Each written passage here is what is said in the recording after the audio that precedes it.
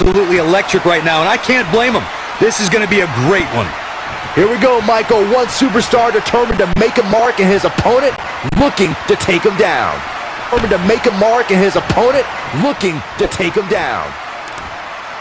Just look at this man. He's all business. I fully expect him to bounce back, though. Couldn't have gone worse.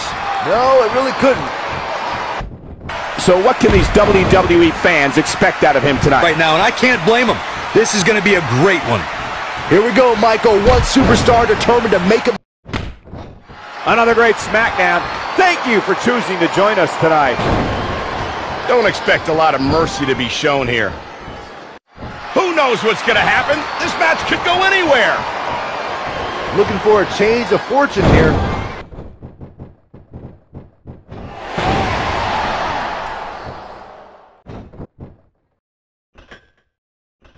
Another great SmackDown.